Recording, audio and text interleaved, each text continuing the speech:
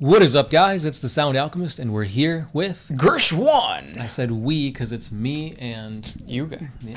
With me. We're all together. Mm-hmm. We're all in this together. Something, something. Yeah. And welcome back to another For the Greater. This is a video series where we answer the questions left by you, the viewer. If you have a question for us, just comment down below. Put a question in front of your question because we get those questions first. That is what Nikoe Nikoe did. He asks Could Farsight's sword be used to permakill perpetuals, at least in theory? Um. So, Well, I guess, yeah, let's explain what Perpetual is in case you don't know, and what's so special about the Sword of Farsight. yes. So, Farsight's sword was found on the dead world of Arthas Moloch. Its origins are unknown, but it's rumored to either be Chaos or Necron in origin. And what this blade can do is that it steals the life force of whatever it kills. So, like, let's say a human was supposed to die at age 69, and they're currently 60. So, those nine years that they were supposed to live get added to the wielder of the blade, in this case, Farsight. That doesn't really make sense because if Farsight's killing them, weren't they supposed to die then and there? Well, I think it, it is if kind of like the um, what was the that one movie or you know the series of movie where like somebody would escape death but then death would follow them. Oh, One Night in Paris. Yeah, sure, that one. but it's one of those things where like should this person have missed the sword or like missed Farsight, encountering Farsight, he would have continued to live and that extra bit would then be added on because that's how Farsight has been able to live way longer than any Tau. The, Yeah. the average life expectancy of a Tau is 30 years. Mm-hmm. That's short. That is short. That's shorter than us. Yeah. Um, so And- yeah, yeah. It doesn't make sense why this, like, I don't know. But anyway, I guess you explained it. yeah. So once he gets that, uh, he just, it just accumulates, I guess, Mhm. and then he just it, technically he is everlast or ever what is it called? He's a perpetual in the sense that he has this sword. But it's not an innate thing. Like no, like he could still die. yeah, his yeah. Well, yeah, exactly. Yeah, like he gets hit by a lascannon, he's dead. Yeah, he's dead. He's dead. Yeah. Um, but then what ends up happening is if he kills a perpetual, does he just gain that everlasting life? And based on what we have been explaining the sword's powers can do, yeah. Uh, because if you kill a perpetual, the perpetual will come back to life, sure. But the act of murder still happened. So after, um, so going back to that whole thing is, if the sword never had would have killed that perpetual, how long would that perpetual would have? How long would he have lived? Yeah, it's a tongue twister. Forever. Yeah. Uh, so technically, Farsight should live forever. Right. Um, But then perpetualism seems to be given and taken, like what happened with um, Jonathan Grammaticus. Yeah. Because he was given the power to be a perpetual, and then it was taken away from him. So I wonder then, because like this is all like theory. Mhm. Um, if Farsight kills a perpetual, the perpetual comes back to life.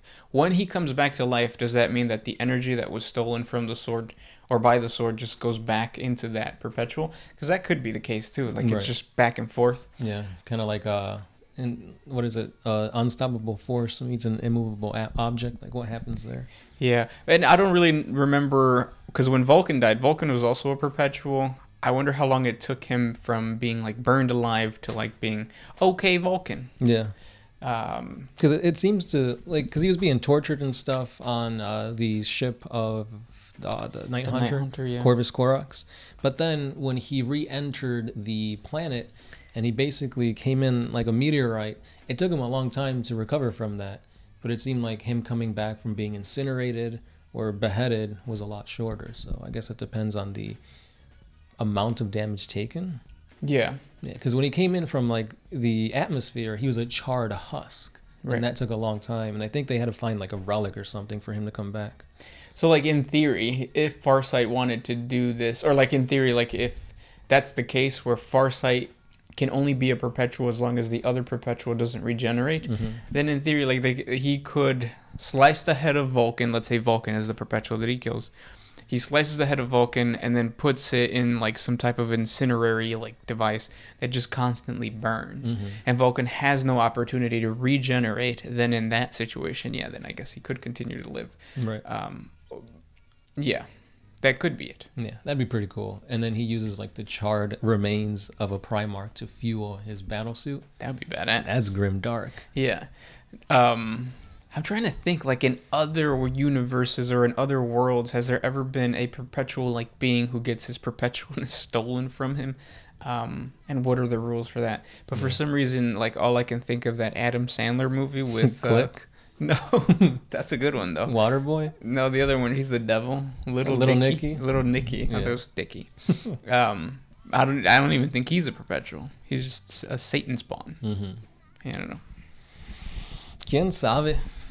Help us out in the comment section below. Yeah. Theories are fun to talk about because there's no real answer. Exactly. Next question. Uh, this one is by Alistair Smith. ¿Quieren bailar esta noche? Vamos a dot dot dot. It would make my year if you can do the dance. That, I don't know what dance it dance? is, Yeah, yeah. I don't know what. I mean, I'm on TikTok, but I don't really. I guess because I think it's a one mind syndicate TikTok, so we post uh, Warhammer 40k lore, and because you guys follow us, our algorithm is affected by what you guys um, also view. Uh, so I don't get those like uh, dance videos anymore. I mostly get like gun videos and um, Marvel and DC stuff. but yeah, I don't know the dance, and I, I would dance, but I don't know it. This next one is by the big one. How can I earn enough money to buy both Warhammer 40k miniatures and have enough dinero left over for my thoughts and hoes? So, because of inflation, we are in a really interesting spot um, where I feel like right now the price of goods are high, but they're not that high. I think like right now you could get a job at Walmart and get paid twenty dollars. So you need to capitalize on that and buy now. so work forty hours at Walmart, Walmart, Walmart for um, what is that? Damn, eight hundred dollars a week. With those eight hundred dollars a week, buy forty k stuff, and then just chill. Mhm. Because next year that forty k stuff is going to be more expensive It always is. if inflation does hit. And even if it doesn't, GW still raises prices. Exactly. Invest in forty k. Forget Pokemon. Forget crypto. Forget gold. Forty k. What was his question though? How can he find a balance between 40k and thoughts and hoes? Oh, there you go. Yeah. Just uh, work 40 hours at Walmart. yeah, yeah. And also, don't go for like the three hundred dollar hose. Go for that sixty dollar happy ending at your local Asian massage parlor. Next question. Uh, this one's by Goferia Rebels. Sup? How you guys doing? And is that your dog and or dogs I hear? Yeah. My question is, can any Space Marine, Sister of Battle, Guardsman, or other Imperial troop retire? Or do they have to fight and die to be retired? Fight and die. For the most part. Well, if you're a Space Marine, yeah. Um, if you're a Sister of Battle, yeah. Um, it's very rare for ha- for any of these Imperial people to be able to just sit back and retire on a pleasure pan- planet. Um, it happens mostly with the Imperial Guard. You have to already be like high ranking. Mm-hmm. And even then, they'll probably still call you to do like one final mission. Yeah. And you end up dying. Or it's like that Vin Diesel movie with uh, I think it's called Pacifier. Oh, uh, yeah. You know, his dad is Gilligan from Gilligan's Island. Um, oh, but just to add to that, with the Sisters of Battle, remember that there's different orders. So it could be order. What is the Sisters of Battle? Like the main one. Whatever that battle or order is, there's also uh, Hospitaller, and then there is Hospitaliter. I don't, I don't know how to pronounce it. Um, Hospitaller? And then there's another one where it's like a, like a, not a diplomat, but like a translator and stuff like that. Hmm so you can switch roles and you, you're not in like the thick of the fighting. Now you're just kind of in the back bureaucratic sense i guess. Right. You're more of an office than on the field. yeah. Next question comes from zamia. Can a black hole exist in the warp and can it hurt the chaos gods or their planets because black holes work on mass and mass is not etheric it is an actual thing uh, i mean it has mass i would say uh, no But we don't know because we don't really understand black holes, right? or the warp. yeah. so yes, maybe I don't know. We gotta we gotta ask Neil Tyson deGrasse. Yeah. This is an interesting one by Cole Adams. He says, "Speed round. Answer 10 questions in less than a minute." All right, we're going to start at 10, 20, 18, 19, boom. Could all of the current humanity kill one space marine if they were on Earth today? Yes. Best chaos demon, N- What's uh, name? Fulgrim. Okay. Was Magnus wrong? Yes. No. Uh, did the Emperor need to hug his kids more? No. Yes. What's new, Pussycat? Whoa. Whoa, whoa, whoa, whoa, whoa. Is Drago a Primarch incognito? No. No. Besides the Emperor and gods, besides the Emperor and gods, what's the strongest character alive? Drago. Yep. Where's Primarch to come back for Guilliman, causing a divide amongst the loyalists? Uh, Leman Russ. yeah, I can see Leman Russ doing that. Could orcs birth a new chaos god like the Eldar? No. No. Would a female space marine require all the same alterations and a male? No. Mm, No. A female with testosterone. yeah. And time. We actually did it with three seconds to spare. Yeah. That's kind of interesting. I didn't really ever think about that. That like the gene seed organs of a space marine would not work within the the body of a woman. Mm-hmm. It would just make of the woman a male Right. because of like you know the chest plate basically sealing up. What happens to the boobs? They seal up, Well, space marines still have boobs though. but they're sealed. Do you think uh, instead of the boobs being filled with that gelatinous substance, um, there would be like ferrocrete or black carapace around the boobs, so it's like super hard and like rigid, so it, she can use it as a weapon? Yeah. More angles means more bullets being deflected. Beautiful. This one's by All Might. Can a perpetual survive getting turned into a chaos spawn? Hmm. I mean, they would survive in the sense that the chaos spawn wouldn't die, but a chaos spawn, I mean, well, it does die. Uh, Right, because a spawn would die, but then they get re-manifested by like, going back into the warp and then coming back into real space. That would just suck for this. I mean, it sucks to be a chaos spawn. Period. Mhm. And for all those that don't know, a chaos spawn is basically a sorcerer or some type of worshiper of of uh, chaos that ends up just overflowing with chaos or, with warp energy. And instead of being able to control it, their bodies just start to mutate and get all messed up. It's almost it's almost like if you had a pocket uh, or if you had a radioactive device in your pocket that was just emitting radioactive waves, you would get cancer in a couple days. Yeah. Um, or the funny way is the chaos gods gives you so many boons that your body can't take it, and you turn into this blob. Yeah. It's like, oh, you want horns? Oh, horns. Tentacles? Yeah, tentacles. More testicles? There you go. testicles on your horns that are on your tentacles, Right. And then you're just like a blob of fleshy appendages. which isn't a bad thing. Right. Bunny Hop is asking, with the way that Cawl has been pushing technology towards heretical methods, do you think he could end up hurting the Imperium if he ended up becoming the fabricator general of Mars? Based on the fact that he's been around for 10,000 years and he hasn't really hurt the Imperium as bad as the Imperium has hurt itself, no, I think we're fine. Yeah, he's done a lot of cool ingenuity advancements for technology, even if people are saying, oh, that's heretical. Oh, he's affecting the gene seed. That's supposed to be sacred. No, I mean, look what he's doing. He's giving humanity a better chance against chaos. Yeah, and also he wouldn't become Fabricator General because, according to this book, the I just got the Adeptus Mechanicus book, um, he turned down the role of Fabricator General because he doesn't want the bureaucratic side to like stop him from experimenting with things. Mm-hmm. So if anything, becoming a Fabricator General would make him boring. He'd be like Biden, boring. Next question comes from Antoine Ewig.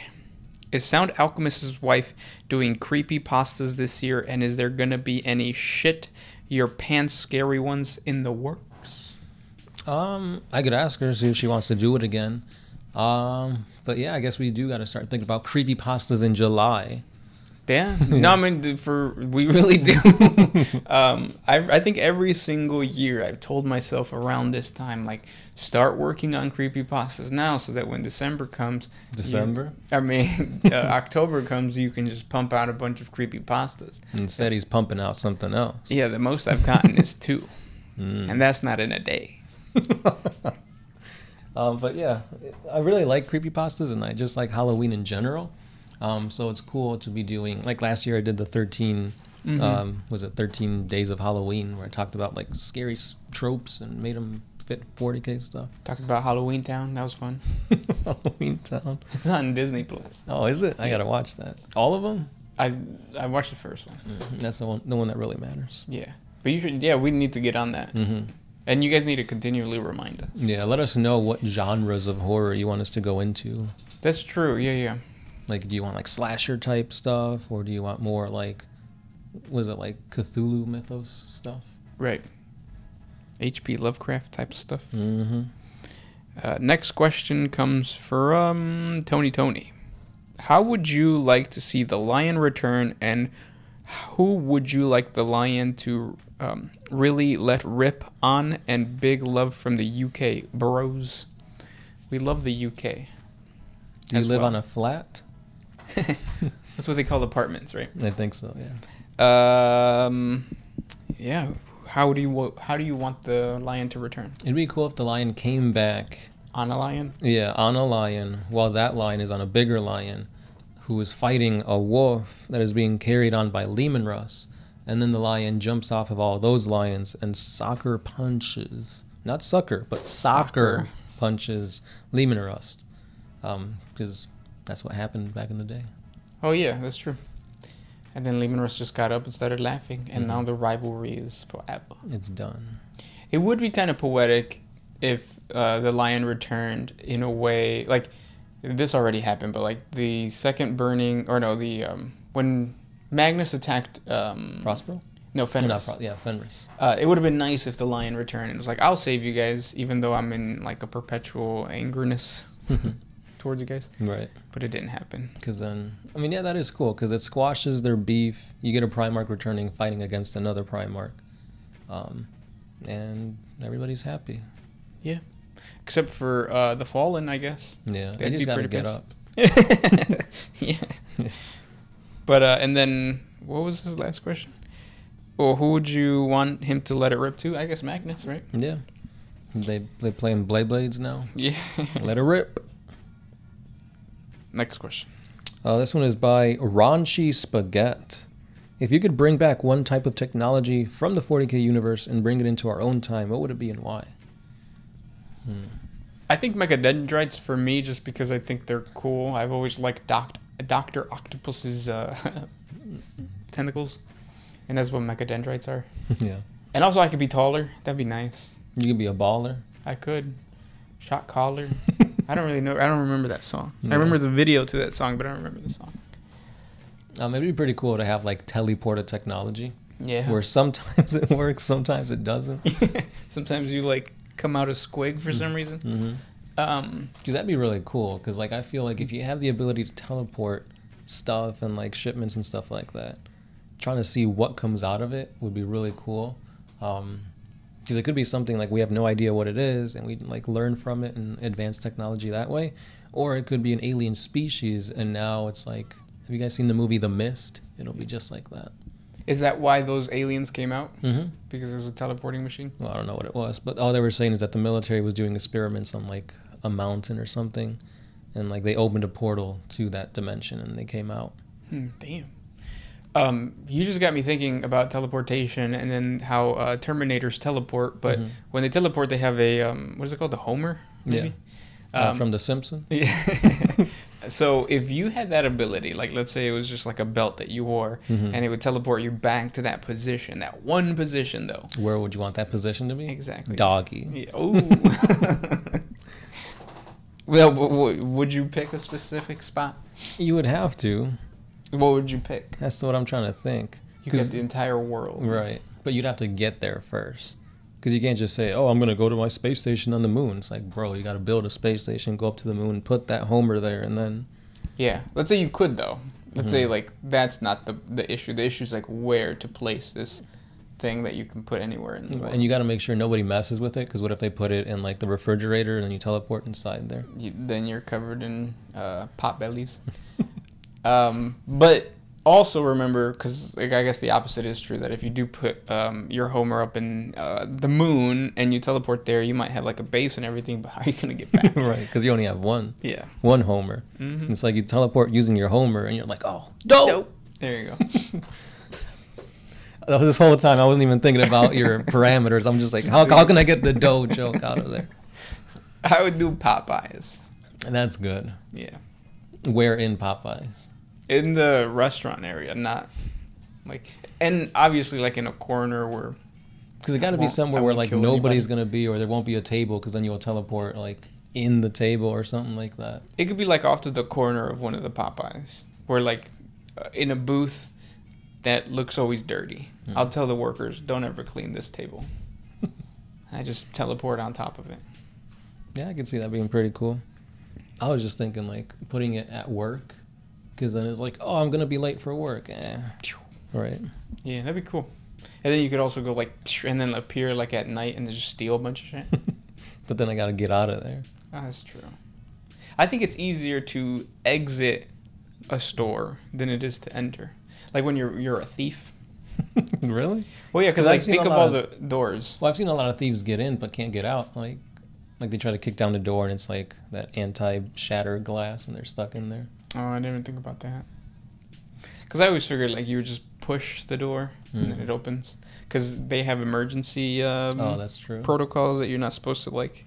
Because what if the person? What happens if like you are stealing a place, or you are robbing a place, and fire starts, and you get burned?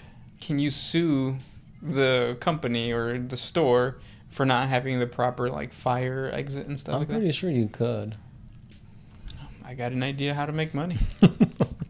And those were the questions for today.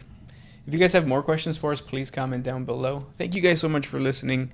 We'll see you tomorrow. yeah. As always, this is the Sound Alchemist, Gershwin. and we're out of here.